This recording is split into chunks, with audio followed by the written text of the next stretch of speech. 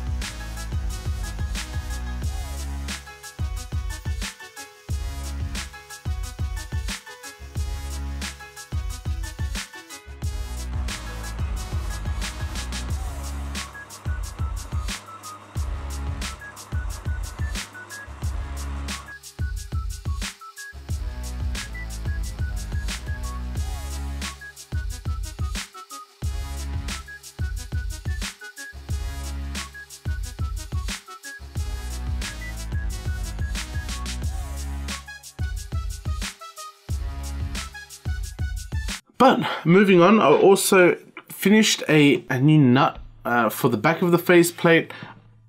I just need to uh, tap it properly all the way through. I'm going to try to salvage my original one uh, by cutting it down.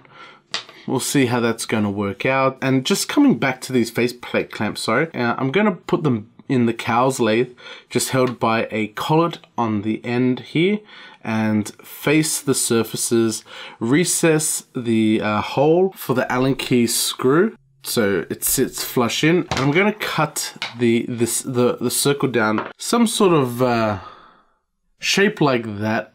I think it's just really rough, but something along those lines, just to look more like a, a clamp, I guess. On top of that, I still need to machine one more nut. So getting the faceplate clamp system working with the faceplate and the fixture before the end of the year is uh, looking doable. I'm still feeling a bit under the weather, but I'm pretty happy. Today was the last day for me at work for two weeks.